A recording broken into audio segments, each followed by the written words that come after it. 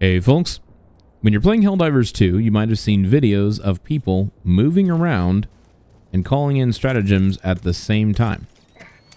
And you might have just assumed that they were on the controller because on the controller, you can call down stratagems pretty easily while moving by using the D-pad and continuing to move around using the left thumbstick. However, this is also very easy to do on PC. What I need you to do is go into the settings, go to options, and then you're going to go down to mouse and keyboard and hit change bindings. Scroll down while you're under general and you'll see stratagem.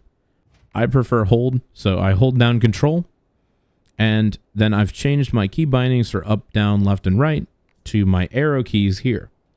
Now you can be sprinting, hit control, and call down your stratagems on the move. On the higher difficulties, this is an absolute lifesaver.